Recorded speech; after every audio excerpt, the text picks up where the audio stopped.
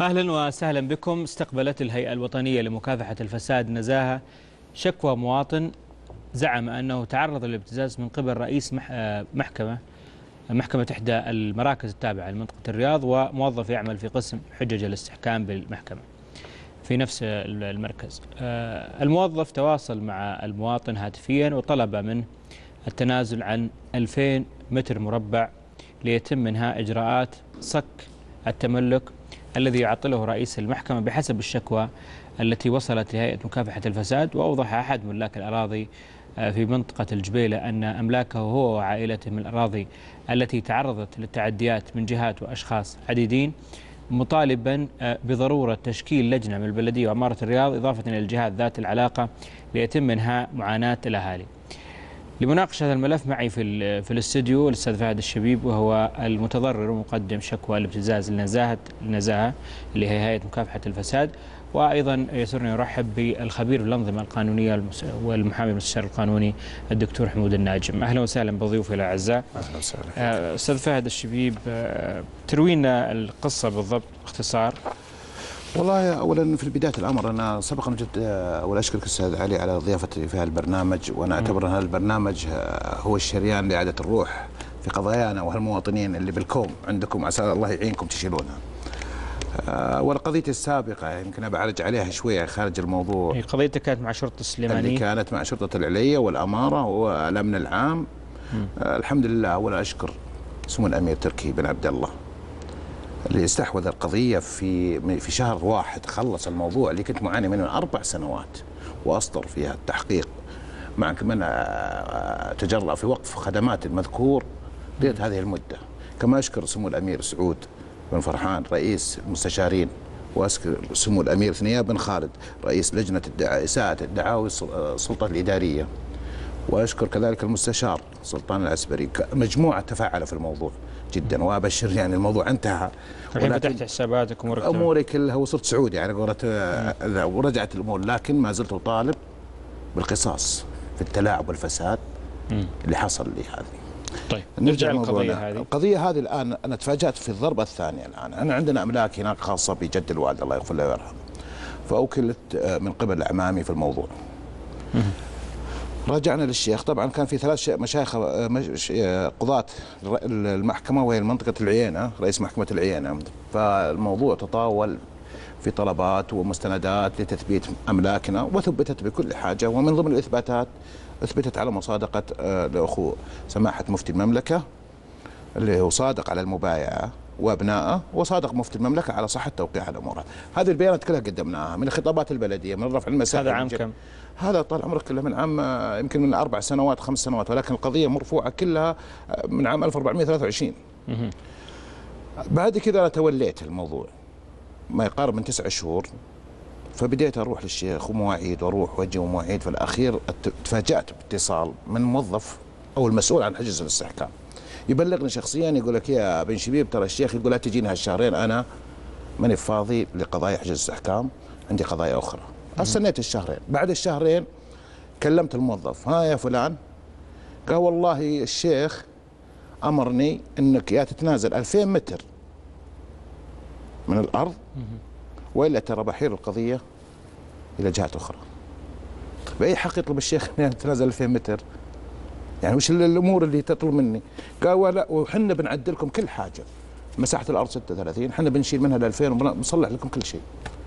قلت شوي أنا أتصل عليك؟ خلها أشاور وأتصل عليك. في صراحة أنا اتخذت إجراءاتي خاصة واتصلت واتصالي في غرضه تسجيل هالمكالمة. فاتصلت عليه فلان نعم وش الان المطلوب بالضبط؟ قلبت 2000 متر تزاح وترجع الأرض 34199 قلت هذا نص من الشيخ؟ قلبت هذا الشيخ. سجلت المكالمة. سجلت المكالمة. ما عاد في أمان ان نرجع. كلنا الآن لازم نحفظ حقوقنا يا أستاذ علي. خلاص طرق المحاكم. أنا خمس سنوات لشخصي من قضيتي. بس بلاك ما يعتدون فيها في المحكمة. ما عاد ما لسه ما وصلنا. لا معلش أستاذ علي. إنه لازم يعني آخذ آه، موافقة من جهات عشان أعتمد التسجيل. فهي الآن ما وصلنا المراحل. لو أنا واصلين المراحل ما لقينا ما طيب المهم. بعد كذا تواجهت عند الشيخ وتقابلت على طول ثاني يوم. كيف أنت تطلب مني هالشهادة؟ والقى الموظف نفسه عنده في المكتب. وكيف تأجلني أنا شهرين وأجي الآن؟ وطبعا الواحد يبدأ يبحث في الأمور. الآن أجي أشوفك قاعد تستخرج حجج استحكام. إيش معنى أنا تعطلني تقول شهرين؟ قال أنا ما قلت هالكلام هذا. قلت هذا الموظف قال لي الموظف تع... يعني تعدى وعندي شاهد. جاء رفع يده وأنا قلت له سمحت التزم الأدب وأنا أحترم المكان. وأحترم القاضي لأنت. قلت أحلف بالله الآن وأنا أرفع أترك موضوعي وأسوي دعوة عليك الآن بالنكران اليمين على قال لي قلت له اني مسجل مكالمتك أنا الآن أسمعك يا شيخ. بعد كذا الشيخ غمز على الشخص اللي كان جاي معي إني أطلع لتهدئة الوضع. نعم يا شيخ قال ارجع لي بعد شهر. هذا الكلام في شهر سبعة. بعد شهر قال والله أنا بخاطب جهة معينة. طيب متى أجيك؟ يعني في شهر عشرة. جيت في شهر عشرة تممنا خلاها نهاية شهر عشرة تم ما جانا الرد.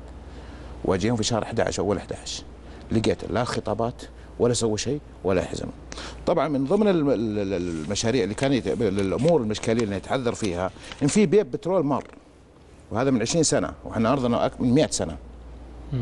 فلما يسألني يسألني عن مخطط قديم. مرسوم بالرسم الأسود. يسألني يقول وين بيب البترول؟ وين بيب البترول؟ قلت والله هذا بيب البترول. أنا ما أدري بالنسبة وين بيب البترول في التخ- المخطط نفسه لكن أنا مستعد. كان يسألني على هذه. يقول وين بيب البترول؟ فرج الجأت رحت البلدية العينة. طلبت مخطط. يوضح المواقع كلها. فاستلمت المخطط من عندهم واتجهت عليه على طول. وضحنا خط البيب اللي هو هذا البيب. وهذا أرضنا اللي بالأخضر. هذا البيب شوف مر من هنا يطلع. أي. وبينه وبين البيب أملاك. تفضل يا شيخ هذه نسخة. أي. قال لا أنا ما أعترف فيها. طيب هذه من البلدية يا شيخ. وطيب هذه هذه مكتب هندسي. وهذه الأساس اللي عندك قاعد تكتب فيها وتطالب فيها. طيب خذ هذه معها. قال لا هذه ما أعترف فيها. طبعا ما في واحد من المواطنين معي نفس القضية. في تعديات على أرضه وتعديات على أملاكهم. هم أملاكهم أكثر من أملاكنا. وتعديات على مرافق حكومية. وكان معاه شهود جاي بيضبط الشهود فرفض الشيخ. فحصل بين أنا ويا الشخص هذا آه، نوع من ال- ال- الألم على حي- حيال أملاكنا اللي وصدد الشخص رجل في هالمكان بدل ما نستند له إنه يعني يكمل حقوق الناس وجدنا أنهم يصعبون الشيء هذا. طبعا أنا يعني كذا ناس أشاروني إلى مجلس القضاء الأعلى. وأنا والله أحترم مجلس القضاء. وعلى فكرة يا أستاذ علي أنا ترى ما ولكن أقول في كل كل ثلاثة قضاة ألقى قدامهم قاضي نزيه. وأنا أتكلم بالإثباتات.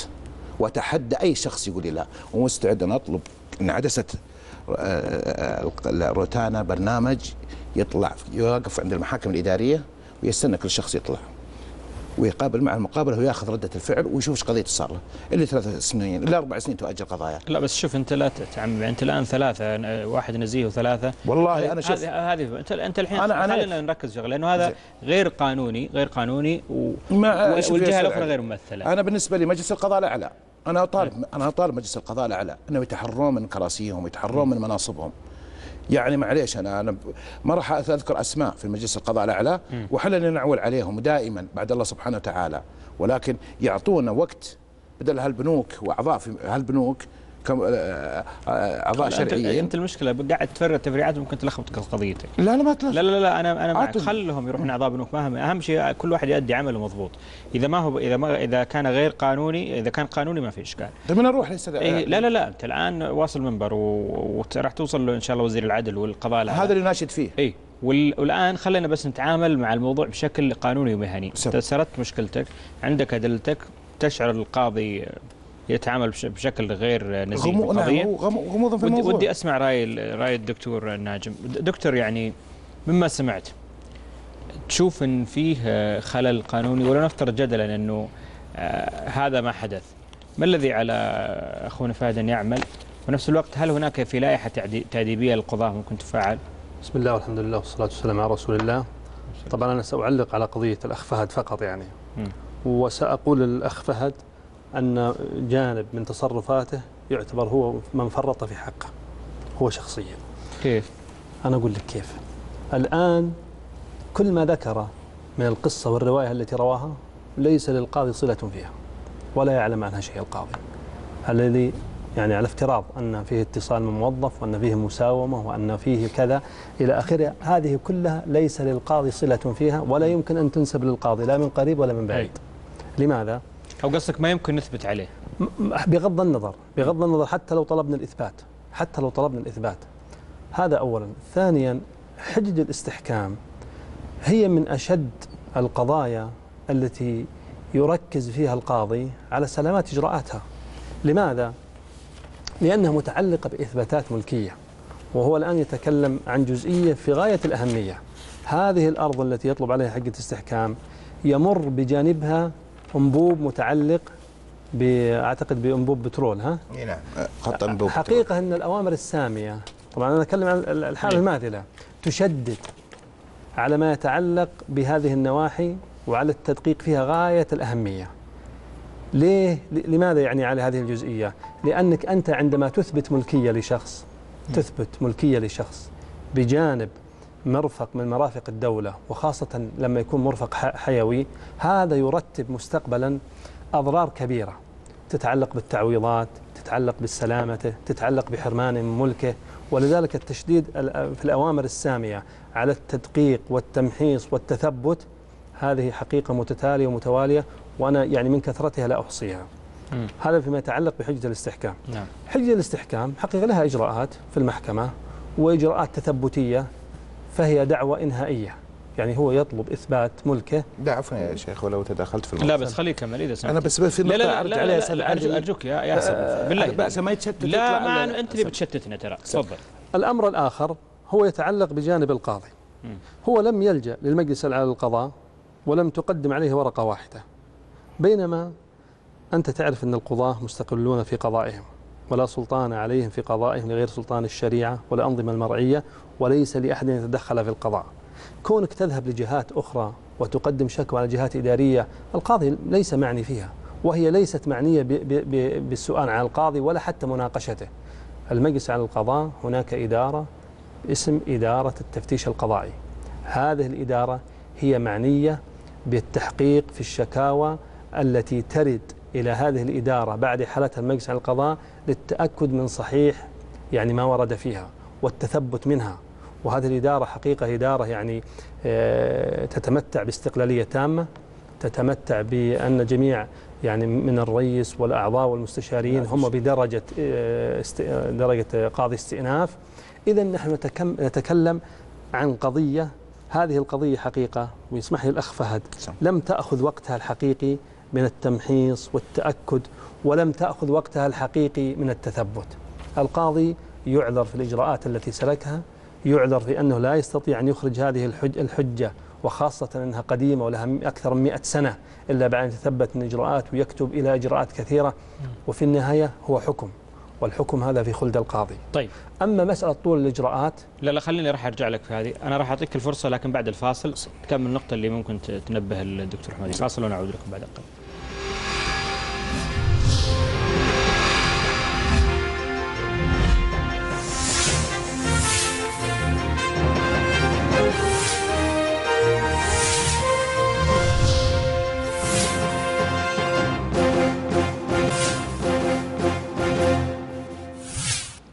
أهلا وسهلا بكم. لا زلنا في قضية آه للمواطن فهد الشبيب وهو وعدد المواطنين.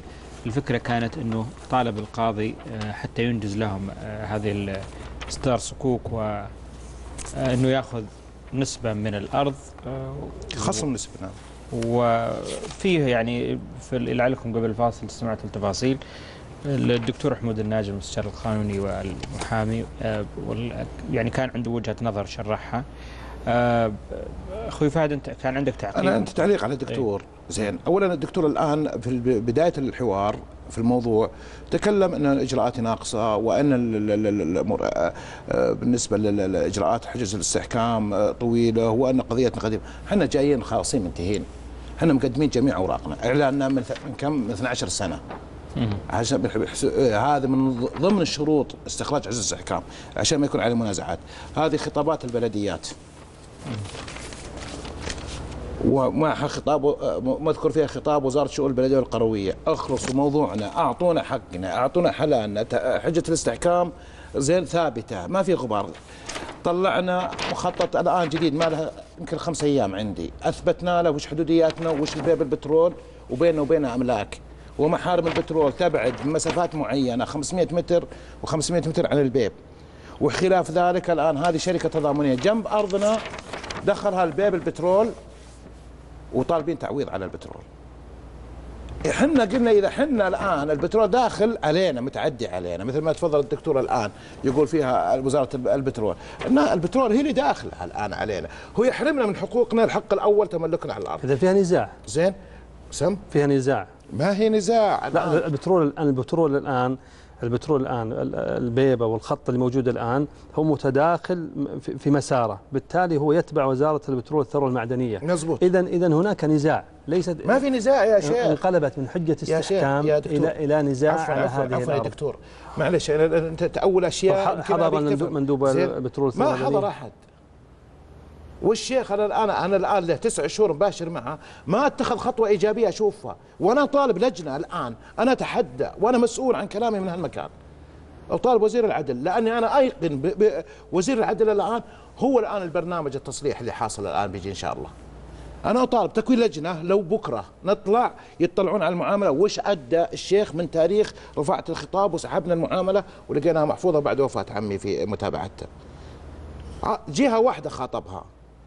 الآن الشيخ هذا يمكن ما يقارب له سنتين وعلى ما سمعت ولا أنا اثبتها ما أصدر له صك واحد. صك واحد. وبعدين إحنا لها تبعيات يعني هو جاء الآن كمن الإجراءات كلها مكملة. ما في شيء يعني تقول والله عاق. اولا كان يطلب منا مخطط جبنا مخطط موجود معه في المعاملة. طيب يطلب منا آه، أوراق أرقام موجودة عنده في المعاملة. الشيء الثاني تمهمها فينا يا أخي. محتقرين كمواطنين ان ندخل عليه على تنصب ذا وإحنا جالسين. يا أخي عطني تعال ناقشني. عطني موعد يا أخي رسمي. طيب، في مثل هذه. الحالات. آه، أنا على كل حال بمسألة طول الإجراءات آه، حجة الاستحكام صدرت أوامر سامية بإيقاف جميع إصدار حجة الاستحكام. واستمر هذا تقريبا عدة سنوات ثم صدر أمر سامي وحدد آه، طريقة استخراج حجة الاستحكام وكيفية المناطق التي يتم إخراجها فيها يعني الحيز العمراني والاختصاص. المكاني وفصل فيه الأمر السامي إذا هذا الإيقاف لم يكن للقاضي صلة فيه يعني لم يكن للمحكمة برمتها صلة فيه لأنه إيقاف من المقام السامي لفترة معينة ثم رفع هذا الإيقا- الإيقاف بتنظيم سطره الأمر السامي الذي رفع هذا الإيقاف وحدد يعني طريقة استخراج حقيقة الاستحكام. قضية الأخ فهد أنا أعتبرها قضية شخصية وسأقول لك يعني يا أخ فهد أنها قضية بسيطة. آه، القاضي ليس في معزل عن المساءلة وليس في معزل عن التحقيق وليس في معزل عن اتخاذ إجراء فيما يتعلق بأعماله الوظيفية. وأنا ذكرت لك أن المجلس على القضاء وإدارة التفتيش القضائي تستقبل الشكاوى طيب إيش يسوي الحين إذا هو متظلم طيب القاضي؟ إحنا هو حقيقة لم يلجأ ترى المجلس على حتى الآن. أنت لم تقدم أي ورقة مجلس القضاء عليه ولم آه، تلجأ يعني يفترض فيه إنه ولم تقدم شكوى. لكن انتبه يا أخ فهد هذه تراها حقيقة فيها مسائل تأديبية إذا لم تثبت. لأن لأن الموضوع ليس موضوع شكوى قاضي فقط الموضوع متعلق بأنك أنت ستشتكي قاضي في أنه ألحق بك ضرر ومنع دقيقة دكتور. ومنع عنك حق معين نعم، نعم. إلى آخره. وسوم وسوموني وشوفنا أقول لك على الملأ. زين؟ بخصم 2000 متر من أرضي. طيب انت أنت خطوتك المقبلة راح ترفع لمجلس القضاء الأعلى؟ والله شوف أنا أنا مثل ما تفضل الدكتور توجيهاته إحنا نستفيد من هذه الأشياء و- طيب. وبالعكس تنويريا. لكن أنا أرجع بس تعريجا يا أستاذ علي. على كلمة صغيرة الآن. أنا موضوعي بسيط. والحمد لله. أنا أشوف زين؟ بسيط جدا. طيب. الآن لو جاء الش... الآن القاضي رئيس المحكمة في موضوع ثاني وأرض ثانية وطلب مني شهود انه لازم يكون في شهود ومزكين وأجيب الشهود ويرفض إنهم يضبطهم. لا شوف يا أخ وش تكون الحالة هذه؟ دقيقة يا أخ فهد، أنت ما تسألني عن قضية منظورة عند القاضي، واصلا حتى نظاما وقضاء لا يجوز أن تثار قضية هل لا طيب في اثبات الشهداء ولا في غيره. هل الشيخ يرفض؟ القاضي. يرفض يرفض. تثبيت تثبيت شهود يرفض ضبط ث- آه، الشهود هل فيه هذا إجراءات قد يتخذها القاضي أخي. معليش بس هذا فيه ولا لا هنا في القضاء ما يحق لي إني أنا لما أجيب شهود إنه يضبط الشيخ في قضيتي الشهود أنا سأفترض أعظم من هذا،. افترض أن القاضي صرف النظر عن طلب حجتك. ما هو بعد المسألة فيها لا أنا أنا أسألك الآن، أليس من حقك أن تعترض هذا الحكم؟ أكيد أنا أعترض عليه طيب طيب بعد ما أعترض يا شيخ. وش الضير في هذا؟ طيب وش الضير إن ليش طيب ليش أنا ليش أنا اضيع وقتي ويرفض الشيخ أوراق رسمية وماشيين على توجيهات السامية وما نص عليها القوا- القوانين. طيب اسمع هذه. أنا سأختم بهذا. شو- شوف يا أخي الكريم مسألة أن نناقش قضية معينة شخصية وهي منظورة أمام القضاء أنا أقول لك نظاما لا يجوز. ولا يجوز حقيقة أن نذكرها لا من قريب ولا من بعيد. لماذا؟ لأنها منظورة أمام القاضي ولا نعلم ما الذي سيتخذها القاضي في هذه القضية من إجراءات وما نعلم ما الحكم الذي لا لا بس, بس خ- خليني اعد ه- خليني خليني خليني أ- هذه في في في في الدكتور قضايا كثير مثل هذا النوع لو لم يلجأ المواطنين للاعلام ما انحلت ما انحلت. تعرف ليش؟ لأنه يا أخي في تكتلات هناك، أيضا بقول لك شغلة ثانية اليوم إحنا حاولنا انه يكون في أحد ممثل لوزارة العدل أو المحاكم أو شيء، لكن للأسف لم يأتوا. المسألة الآن أنك ت... نستغل هذه الزاوية بحيث أن يظلم المواطن مشكلة. أي لكن أنت تعتقد أن الإثارة الإعلامية ستؤثر على حكم مو القاضي اليوم. القاضي ما قلنا اسمه. ما القاضي يا ولا ملزم. شوف يا أخي القاضي في المحكمة ملزم بإجراءات معينة محددة شرعا ونظاما لا يستطيع أن يحيد عنها لا من قريب ولا من بعيد. ولا أظن بل أنا متأكد تماما أن القاضي حريص على الحكم الذي يصدره والصك الذي يخرج من عنده لأن لأن هذا الصك معنون و بس هو عموما. عموما أنت ألجأ لل- تشهد يعني تشهد لهم يعني ما هم بشر مثلنا. لا لا ولا نقول فيهم شيء إن شاء الله. أنا أتكلم عن. موضوعي. أنا موضوع من ناحية موضوعك الجأ لل- للطرق القانونية اللي ذكر لك. أنا ما عندي وال- مشكلة. وال- والمنبر منبر للجميع. ما في شك. ابدا. وإحنا متابعين القضية. قضيتي السابقة قعدت خمس سنوات والآن شوفها بأمر من أمير الرياض كشفت الحقائق والتحقيق وهذه نسخة عندي منها الآن. من هالمنبر بس أنا بقول لك شيء وأ- وأشكر جريدة الوطن كذلك. الم- وبالذات تخص زاويه المحليات اللي هي قد يعني أس يعني أستنجدت سحبتني من ال- ال- الشوائب الفساد اللي أنا عشت فيها والتزوير. من جهات. أنا ما بغى اتطرق للموضوع هذاك. إحنا- زين أنا في قضيتي الآن. خ- وصلت الفك شكرا لك. إحنا مكملين معك. الله يوفقنا آه، شكراً لك فهد الشبيب. صاحب. وأنا أتعذر من الدكتور إذا كان لا، لا، لا متعود على الصياغه زين، عليك. شكرا. شكرا للدكتور يطول الماجد وهو المحامي القانوني. فاصل ونعود لكم بعد قليل في ملف آخر.